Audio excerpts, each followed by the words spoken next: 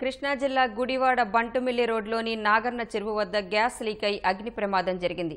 ఈ ప్రమాదంలో పది పూరిళ్ళు దగ్ధమయ్యాయి. అగ్నిమాపక సిబ్బంది ఘటనాస్థలికి చేరుకుని మంటలను అదుపు చేశారు. అగ్ని ప్రమాదం వల్ల ఐదు లక్షల రూపాయల నష్టం వాటిల్లిందని బాధితులు ఆవేదన వ్యక్తం చేశారు.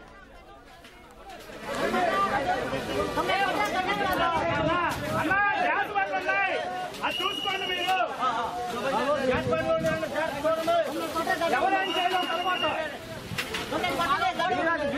मतलब